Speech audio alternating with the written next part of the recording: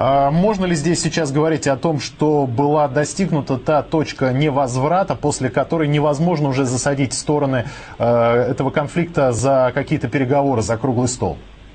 Я думаю, что федеративная Украина сегодня уже невозможна, потому что режим, который убивает своих собственных граждан, который бросает танки, бронетехнику, боевую авиацию против народа, э, разумеется, говорить о каких-то компромиссах и достижении каких-то политических договоренностей с этими людьми уже нельзя.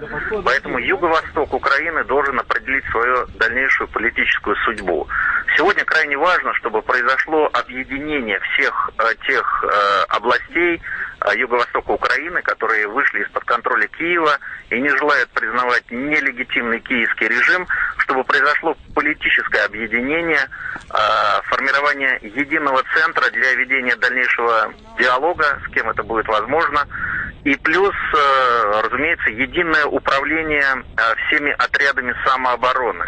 То есть юго-восток Украины должен сегодня э, сконцентрироваться, объединить свои политические, военные, экономические ресурсы для того, чтобы сплотиться и быть более сильным перед лицом вот такого военного давления со стороны Киева. Это абсолютно необходимо.